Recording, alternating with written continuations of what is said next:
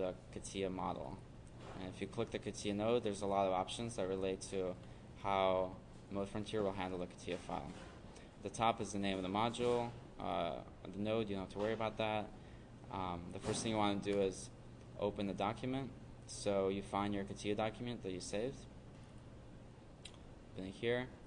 Um, you don't have to worry about any of these things for now. The only thing you want to do is because it's going to be running um, all these experiments uh, automatically, you want to have some kind of easy way of finding the test that you want. Uh, so we're going to capture a screenshot of each test in a JPEG file, and that'll go into your computer. Okay.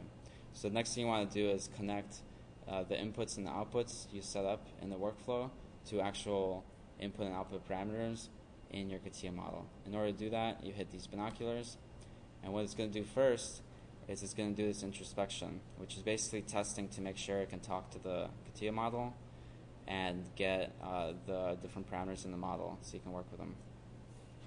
So that usually takes about a minute.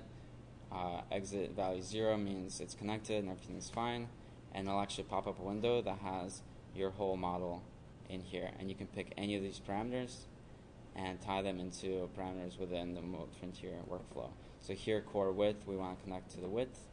Double click it, it has a check mark, and it displays it up here. So again, the value of naming all your things is that now you can see, okay, core width relates to width, and you know everything's fine. Floor offset, again, is offset, and overhang ratio is overhang. And now you want to do the same thing for the outputs. Area core becomes area core. Area floor becomes area floor. And area footprint is area footprint. Okay. So that should do it for CATIA. The X goes away. And the very last thing we want to do is set up the scheduler. And this is where the genetic algorithm actually happens.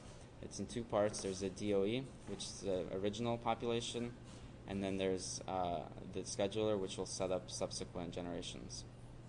So first we click on DOE. We can specify uh, a lot of different ways to set up the initial population.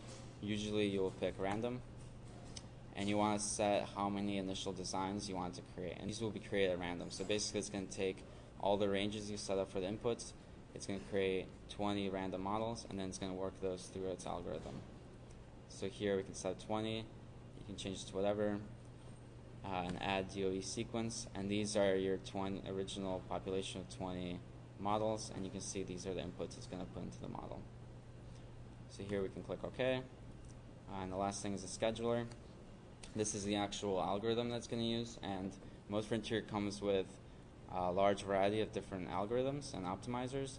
Uh, at first, um, you can explore a lot of these. Um, they do different things and work with that in different ways. The typical genetic algorithm we're going to use is MOGA2. And here in its options, you can specify uh, everything that's controlling the algorithm. Um, number of generations, uh, this is how many times it's going to run through. So you take basically your initial population, which was 20, and it's going to have this many generations. So if you have five here, you're going to end up with 100 models in the end. So maybe we set that to 10. And then here you can specify crossover, selection, mutation, and you can tweak these later uh, to get the genetic al- algorithm working the way you want. So we set here 10, and that's okay. And that is basically the setup, the basic setup of a Mode Frontier workflow. So the next thing, uh, once that's all set up, uh, everything's green, there's no arrows, uh, we can hit the run button. And here it's going to ask you to save your file, and it's also to, um, that's to specify what folder it goes into. So here I'll just call it um, Mode Frontier 1, hit OK, and it's to actually start running your experiment. And you can see the progress in the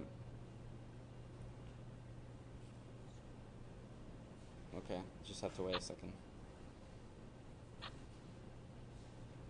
Did it freeze? Okay. So the experiment started. Um, here in the process log, you can see uh, the ID of the experiment. Um, this is the design number that's on. So right now it's just starting. Um, and it's done the first one, and now it's on the second one. And this window uh, provides a really good database. Um, you can check a lot of the progress as it's going. Um, this will basically tell you again uh, the name of the project, uh, all the data of how it's doing the algorithm, and in here it'll have your design sets. So here it's doing the first group.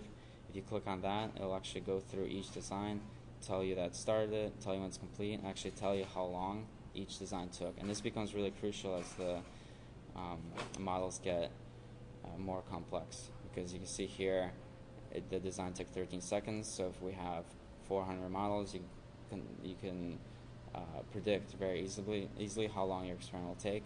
And if this is getting up to like 10 minutes, you know it's going to take hours to just do a few. So you have to keep an eye on this elapsed time. You can also go into each design.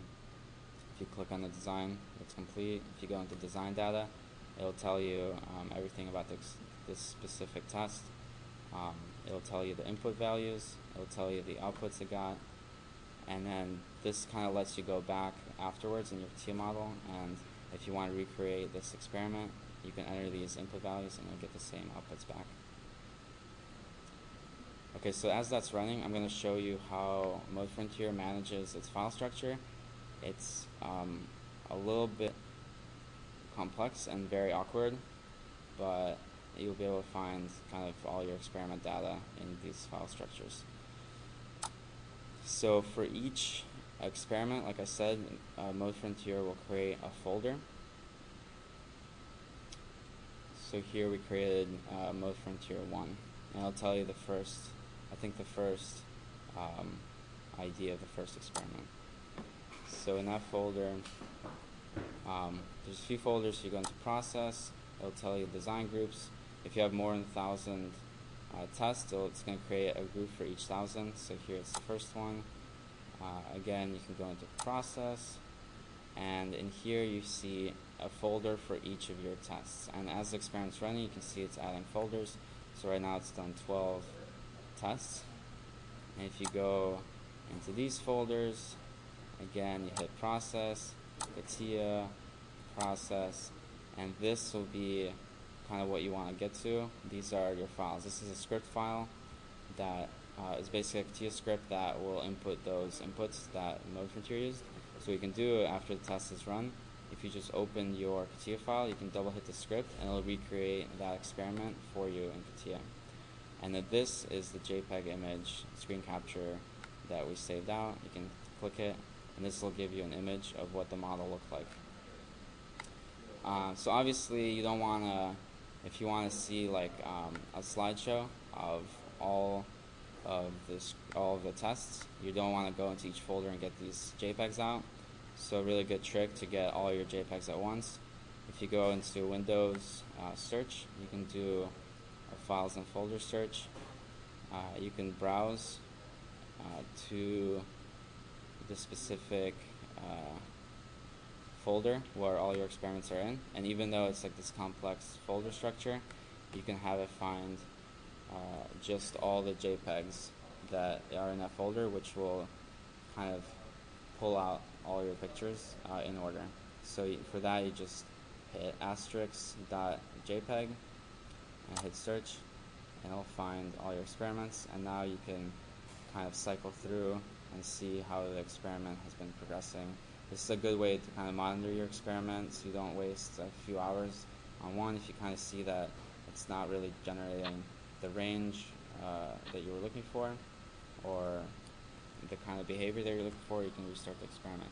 And you can also then uh, put these as frames into something like After Effects and create videos of the experiment and a lot of other things. So um, we're not going to finish um, this whole experiment. I'm going to stop this and I'm going to show you some of the ways to visualize your experiments with data I've already created.